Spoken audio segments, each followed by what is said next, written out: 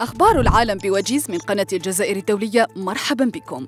الرئيس الجزائري عبد المجيد تبون يترأس اجتماعا لمجلس الوزراء يتناول عددا من الملفات والعروض، ووفقا لبيان الرئاسة الجزائرية فإن الاجتماع يتناول ملف الحصاد والدرس للموسم الحالي ومتابعة إنجاز صوامع تخزين الحبوب والمخطط الوطني للبذور الزيتية، كما يتناول عروضا أخرى منها متابعة إنجاز محطات تحلية مياه البحر وتنفيذ البرنامج الاستعجالي لتدعيم تزويد التزويد بالماء الصالح للشرب بالإضافة إلى الوقوف على ظروف استقبال الجالية الجزائرية بالخارج على مستوى مختلف المراكز الحدودية خلال موسم الاصطياف.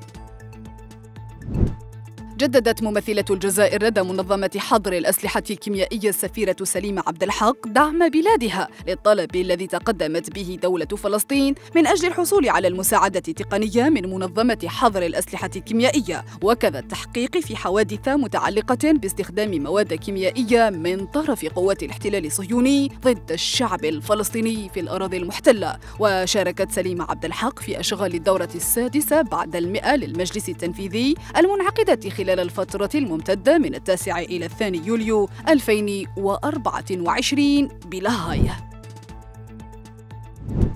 الرئيس الأمريكي السابق دونالد ترامب قال اليوم الاثنين في مقابلة مع صحيفة نيويورك بوست بعد نجاته من محاولة الاغتيال السبت خلال تجمع انتخابي في بنسلفانيا. كان يفترض أن أكون ميتا مشيرا إلى أنها كانت تجربة سرياليه أوضح مدير الهيدروجين الأخضر والطاقة البديلة بالجزائر رابح سلامي بأن مشروع إنجاز 3000 ميجاوات الذي تم الانطلاق فيه سيسمح ببلوغ نسبة 13% من الطاقة المتجددة بالنظام الكهربائي. سلامي وفي تصريح للإذاعة الجزائرية ذكر بتصدير الجزائر لبرنامج لإنتاج وطني يصل إلى 1.2 مليون طن سنويا من الهيدروجين الأخضر. يتم تصديره مباشرة إلى السوق الأوروبية. انطلاقا انطلاقا من سنة 2040 نهاية وجيز إلى اللقاء.